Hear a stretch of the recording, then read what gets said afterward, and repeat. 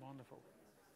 Ladies and gentlemen, welcome back. You all know who I am. I've been uh, emceeing this afternoon, but I'm actually going to work for my, for my lunch now. I am actually the co-founder of Open Banking Excellence, and uh, if everybody just, I'll just wait for a few more people to come in. Um, Open Banking Excellence is um, all around collaboration.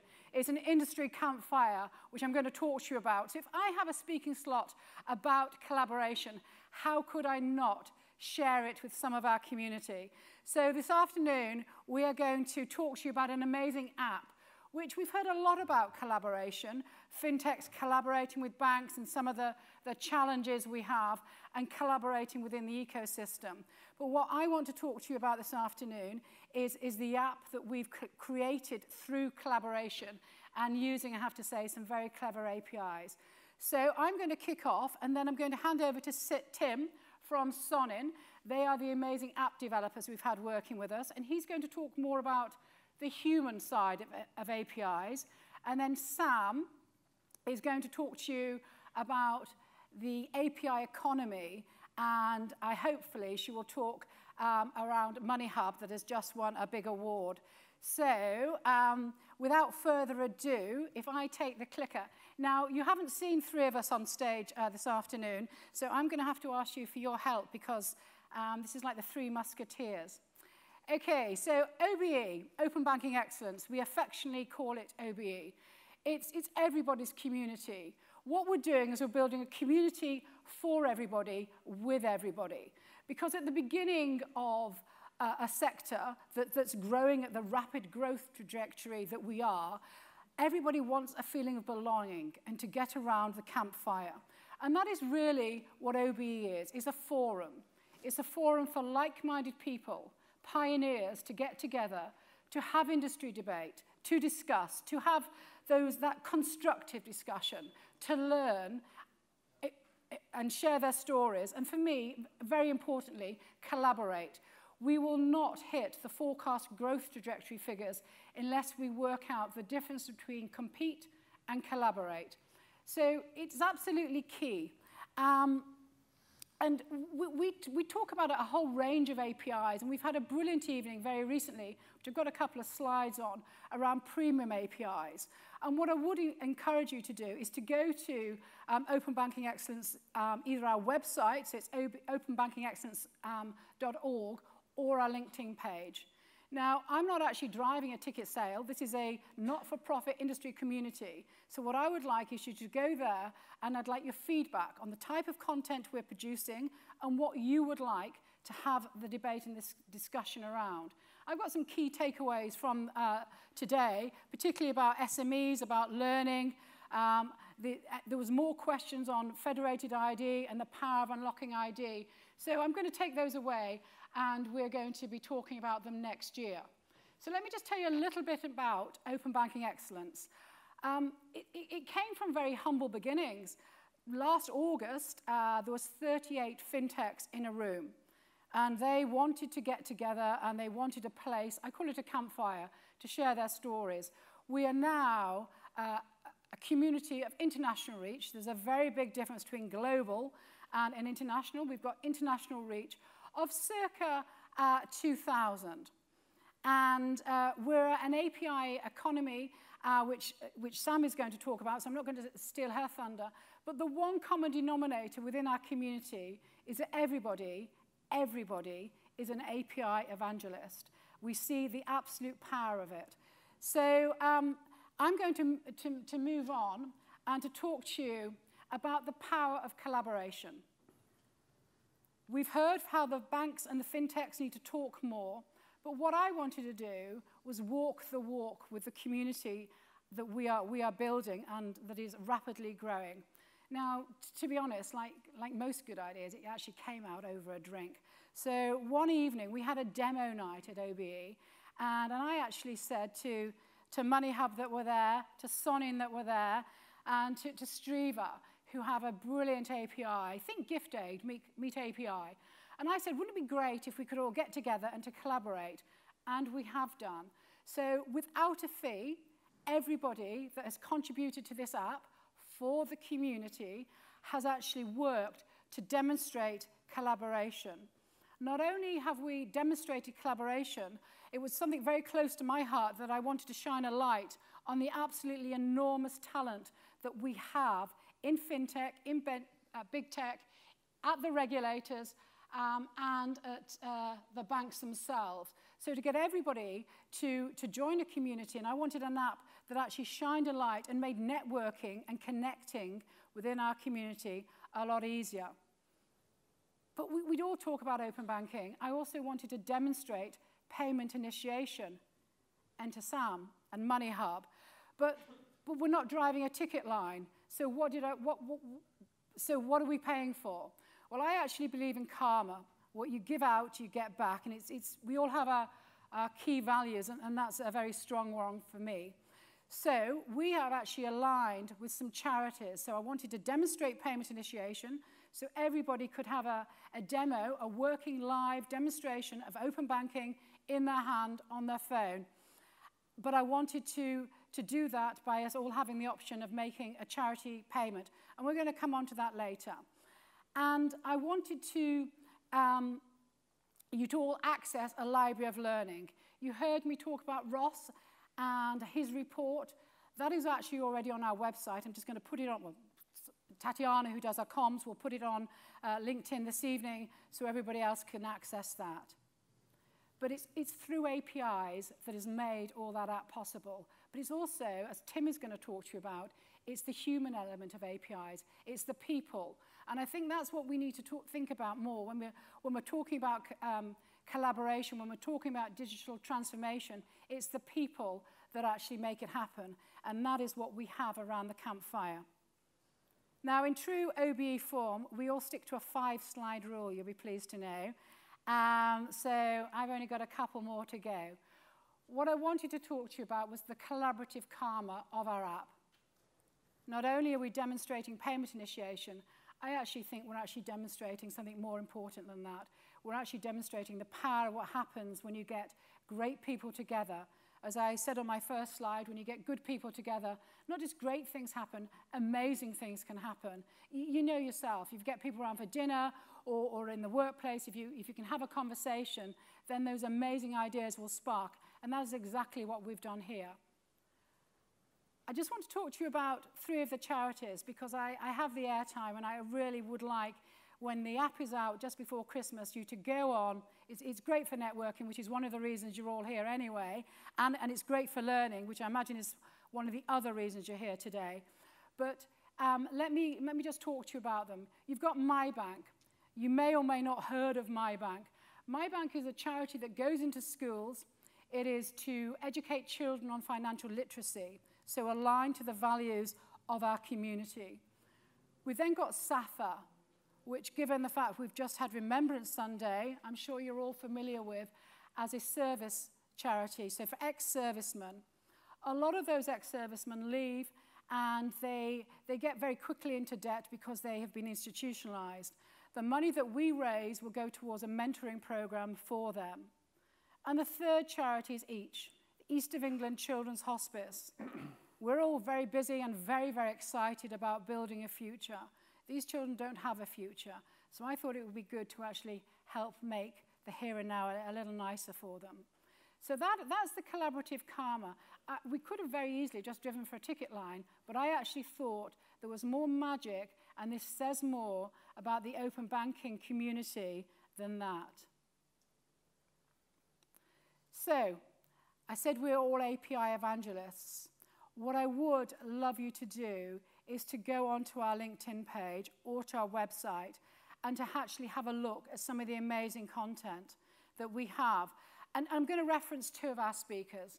For those of you that were here this morning, you'll have heard from Todd, Todd Clyde at, at Token, an absolute masterclass. If you also want to uh, learn more about APIs, you want to listen to Tony from City. You really do. It's absolutely inspirational. And I've, we've just referenced a few of the other speakers that we've had, just to give you a little bit of a feel. So really what I wanted to do today um, was as, as the even as the day, the evening even, I'm getting ahead of myself, as the day draws to a close, to talk to you a little bit about more about what the people can do within a community that is driven by APIs. And I hopefully I've given you a little flavour of, of your um, community, the one that we're all building together, and, and what we have done. So not only have we built an app, we actually have walked the walk in terms of collaboration. So we've taken it from a concept that you can read about in the industry press and through hard work, and I have to say some amazing partners, we've done that. So keeping to our five slide rule, my last slide is from um, our one of our sponsors, MasterCard, who very generously foot the bill for everybody's pizzas and all the wine and the beer. And uh, I think we're feeding fintech. We, uh, we really are. And I think Jim from MasterCard very nicely sums up um, collaboration and how the, it's the need for us all to work together that will actually um, help with our, our growth trajectory. And I will just leave you to read that for a moment before I pass over this. As I said, a five slide rule. So allow me to hand over from, to Tim, who's one of the directors of Sonin, to talk to you about the human elements of APIs. Fantastic. Thanks. Hi. Um, so Helen asked me to talk a little bit today um, about the OBE app that we've been building with them. Um, and as the account director at Sonin, I thought it was best I didn't try and talk about the technical side of APIs because I think you'll find me out pretty quickly. Um, so I wanted to talk a little bit about the human side of APIs. But first, a little bit about the app. Um, so as Helen said, over a glass of wine and a bit of a moan about, um, about event apps, um, we kind of pieced together what we think would be a, a, a good app, a good experience. And uh, at Sonin, we went and did a bit of discovery, spoke to people about what they were looking for um, in the app, which was basically just something really quick to buy uh, to get onto the event, uh, and when they attend, uh, to be able to check in nice and quickly. So that's what we went and built. Um, we talk at Sonin a lot about uh, personalization and context in apps. Um, and we've built that into the, the OBE app. So um, if you've bought a ticket um, and you're open the app ahead of the event, you're probably looking to check the time or the location. So that's what you see up front. Uh, if you open the app on the day of the event, it's probably location, you're looking to where you're going. And if you open the app at the time of the event and on the, uh, and on the date of the event, you're probably after your ticket because you're checking in. So we show the ticket up front. Um, and that facilitates a nice quick movement through that check-in process. Everything we build at Sonin uh, integrates with our clients' data and their APIs, and, and the app's no different, as Helen mentioned. Um, so we integrate with all of these partners up here. Um, Equinix on their innovative hosting platform uh, and their servers. Um, as Helen said, the, um, organised the gift aid part of uh, the charity donation and MoneyHub, importantly, to take the money for the charity donation. To give you a bit of background about Sonin, we've been building apps for about 10 years. Um, the first app we built was on the Nokia phone. It was a Bluetooth dating app. It was miserably flawed in concept. You had to be within about a yard of someone to send them a message to say you were interested. so uh, you were the weird guy with the phone out. But um, the iPhone came along, kind of saved us as a business model, um, and, and, we've been building apps ever since. Um, back then, uh, it was quite a different experience. I mean, we were still trying to attempt to use people's APIs, but it really was quite different. I mean, there was no industry standards, uh, rarely any documentation. Uh, performance was really considered. Uh, it was pretty much the wild west of, of APIs. We were just getting thrown XML in lovely forms like SOAP and, and having to get on with it. Um, and there was no access to developers, which is what I'm kind of coming on to. Um, we even had one example where a client's live API would go down at a similar time every day, and we didn't know why and didn't have access to ask why. And we realized that uh, he was running it on his local machine, and when he went home of an evening, he turned it off, and the service went with him, which is good. So we've developed uh, a different way of working at Sonin with our partners, with our clients and, and their APIs. So we've kind of turned the um, interaction model on its head a bit um, because we believe making APIs uh, work isn't just about the tech, it's about humans communicating.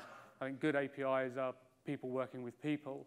Um, so like I said, I mean, the standard model is bow tie. This is kind of a, a uh, account management standard model, but um, sales talking to buyers and routing everything back, back and forth. And something we've tried to, to turn that around so that everybody talks to their opposite number on the client side.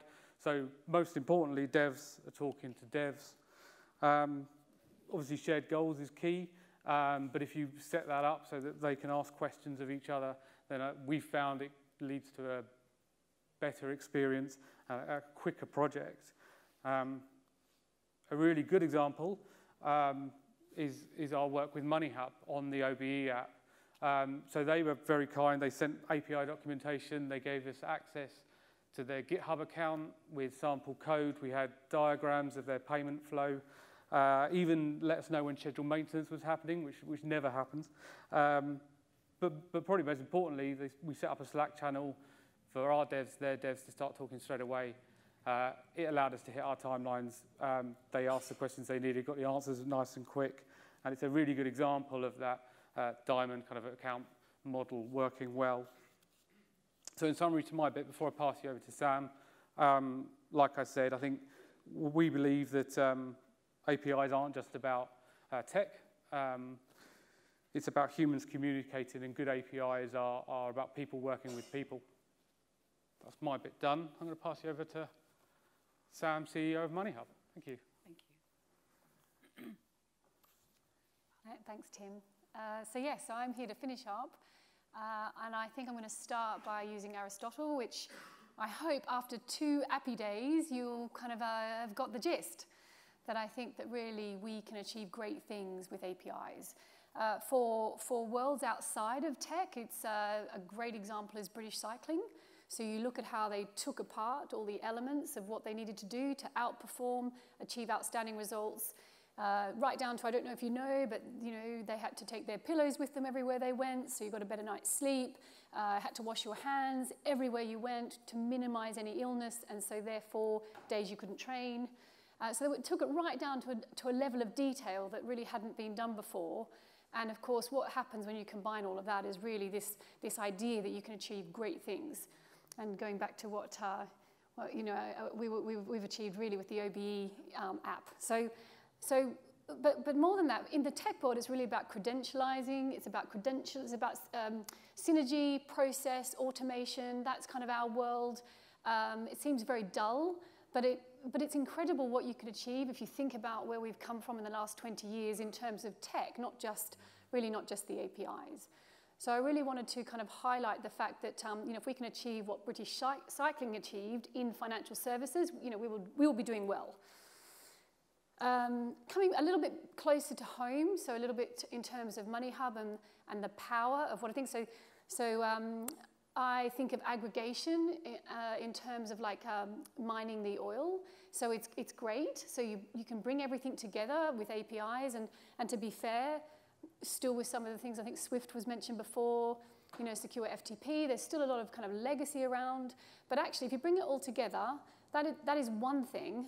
But then being able to actually categorize and use that, that's really the next step on, isn't it? And some of our you know, partners in here that um, were mentioned before have, have, have, done great things. You know, Google and people like that are really very good at it.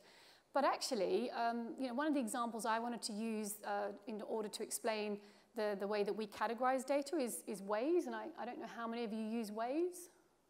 So we've got a few, handful. And, and, and really what that's all about, again, is the collaboration part. So so, you know, even in our categorization engine at MoneyHub, what we're using is the 80-20 rule along with the community. So 20% get very annoyed about getting things right, and then 80% of us don't care and just benefit and go for the ride on those 20% that do a bit more of that hard work. To give you an example, if you go to the Duck and Waffle in, in Devon, you know, most categorization engines are going to say that that is miscellaneous because it's got no idea. It's got no hope of knowing what that is and it's, you know, it's not a main merchant, it's not a, you know, it's an off the, off the beaten pub in Cornwall. But uh, you'll get someone who thinks that's very annoying for it to be miscellaneous, so they correct it. It's like it's eating out. And then actually the machine learning algorithm thinks, okay, someone thinks that's eating out. I might try that next time someone goes to the duck and waffle. I don't correct it because I don't care. It's right, whether it's miscellaneous or there. I'm like, I'm okay with that. And actually, you know, in time, what happens is you get better categorization. Why, why is that important? Because actually there's a long tail in most countries of transactions that aren't dealt with the main merchant codes. So you really do need to address that if you want to use this type of data for affordability, for lending, uh, the, the kind of the world that we're heading into, this type of thing is important. But once again, it's really the power of it is going to be through the community and collaboration. We obviously then personalize, and I think this is back to Tim's point, which is like, I don't really want you to tell me stuff for people like me, because there isn't anyone on earth like me. And, and that's going to be the same for everyone in this room. We are all unique. What I really want you to tell me is stuff that is actually relevant to me. And I'd like you to get it kind of right on the timing. And I, and I kind of explain this by saying that, you know, I, I bought a bed, a new bed last year. And, you know, then I, I, I had beds following me around everywhere, you know, kind of like, you know, everyone wanted to sell me beds. And I was sitting there thinking to myself, why don't they try and sell me sheets? It's like, you know, I, you know, I, I, I think I would have bought sheets. I really do, but I didn't buy another bed. So, you know, I really do want them personalized. I think I can't be alone, you know, because we're busy people. So I, can't, I don't think I'm alone on this journey. And I think personalization is going to be key. And then actually, I want to take it a step further. So if someone had managed to serve me up those sheets and said, you know, John Lewis, 50% off, they've got a great deal, I'd have liked to have been able to buy them then and there. So I'd have liked to have actioned that. And that's why I think the power of the uh, open banking with payments, so being able to initiate a payment, is really powerful for non-banks. So going back to what we've done in the app, being able to initiate that payment for those charities, it's really powerful. Uh, the next thing I want to do is just to bring that all together, really, to say that what that means for all of us is great things. So the API economy, for, for me, means effortless money management. You know, that is where we're heading. And, and I think, you know, if you, you think about human beings, so going back to Tim's point about humans and people, we actually uh, really are only interested if it saves us time, money, or it's fun. And, and that really comes down to uh, three key things. And if you can get those right, people kind of, you know, really, really gravitate to that type of area. So I think as financial services, if we can kind of harness the power of the API economy and the collaboration and the community that we've got, which we know we have, uh, we're going to achieve great things. But there is a but. So there is always a but. So we move at pace and it's, it's great for us, but there is, you know, there is this group that doesn't find what we do very accessible. So we've got groups which uh, don't find handheld devices easy. Uh, we've got groups where, you know, I'll put my mum in there. She's, she's not interested in the tech. Like you can try. I've managed to get her on WhatsApp so she can kind of WhatsApp. That's about it. You know, she's got a very good smartphone that WhatsApps. She doesn't even answer it as a phone. You know, so, you know. so you, you, we are going to have um, audiences that we're not servicing very easily. Um, but I just wanted to show you this video because actually the API economy comes to power yet again. Is that my CTO that you can't hear?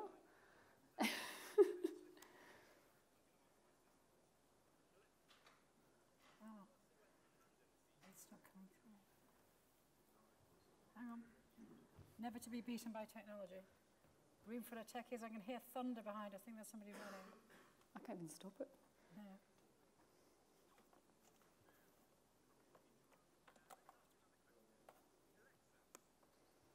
So while we pause and we re go back on this, I will do the bit that I was going to do at the end in terms of um, accessibility and, my, and one of my other concerns. So while I have the stage, and, and obviously I'm a girl, I just wanted to mention that today, I don't know if you know, is Gender Pay Gap Day. And the reason it's Gender Pay Gap Day is because as of this day, all the girls in this room, we stop earning the same as men until Christmas. So that's the gap. It's 17% of average uh, pay. So uh, average pay gap.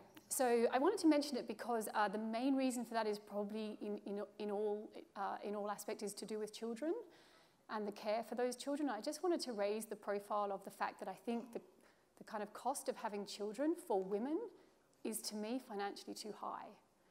So I, I want all of you to take away, you know, with you today anything that you can do in your businesses and in the way you go about what you do in terms of making it easier to look after children, easier to have children and work full time, because I think that's one of the biggest ways we'll address the gender pay gap. And if we could get beyond November, what is it? November the 12th, is it today? 14th. 14th. If we can get beyond the you know, November 14th next year, you know, that would be a good, good result. So I'll just go back.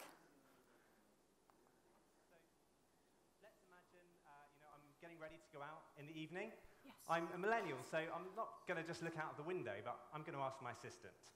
Alexa, what's the weather in London this evening? Right now in London, United Kingdom, it's 5 degrees with cloudy skies. Today's forecast has dreary weather with a high of 5 degrees and a low of 0 degrees. Dreary, yeah. You probably didn't need to ask. But uh, let's ask another question. Alexa, ask MoneyHub, how much is in my current account? Your balance is £3,201. Okay, could probably splash out tonight, but I've still got some bills to go out, my mortgage still needs to go out, I, I can't really drain my account. So let's, let's try again. Alexa, ask MoneyHub how much I have left in my entertainment budget. Your remaining budget for entertainment is £16.12. You have spent £203 this month. Yeah, I think I better take a little look at my finances. So the reason I bring that to you is because uh, we get quite a lot of comments about, oh, no one's, no one, especially from my world of pensions that I've kind of my history, no one's going to talk about finances like that, right? This is ridiculous. But I wanted to bring it up because actually it might be ridiculous for us because, you know, we can do this in a different way. But I wanted to, to bring it up again because I think there is an answer here with some of the accessibility issues that we will face. And uh, this was two years ago at Finovate. So, you, know, it just goes to show that what we do in our world sometimes takes time to develop and, and, and be taken up by the wider world. But I really do think, again, the API economy is going to be very, very um, powerful, you know, with accessibility and addressing some of those issues. So really, I just wanted to, to, um, to finish up by saying that um, it's all about uh, you know, collaboration, working together, and actually really embracing not just open banking, but I would go a step further in saying that we've got to look a lot further than that to open finance. And once we look at open finance, we then achieve the holistic result of helping people from what I call cradle to grave with their money. And, and, and as everyone in this room will know, that journey isn't a nice up and down, which is what you know, you see a lot of the time with the accumulation, decumulation. You know, things happen along the way and it, you know, kind of, you know, just puts you, you know, out here to the left or off to the right. And, and actually, financial services really needs to support that entire journey much better than it does today. So yeah, that's it. Thank you very much. Thank you. so, So with my other hat on, I am particularly proud of, um, of what we've achieved at Open Banking Excellence, OBE, um, but also particularly a, a proud of what all the partners have done to, to collaborate on the app. The, the title of this session was Cracking the Collaboration Code, and hopefully I've shown that we can do that. What I would like to say that um, Sam was also invited to talk for at Isabel's um, women in APIs. So a big shout out to API Days for actually doing that, but couldn't make it, hence her doing a little, sneaking in a little pitch about the gender balance there. So that was cleverly done, thank you. So before we hand over, um, has anybody got any questions? Well, we, um, we can finish on time then. I would like you to give a huge, and I mean huge, appreciation to Tim from Sonin and Money Hub, Sam from Money Hub.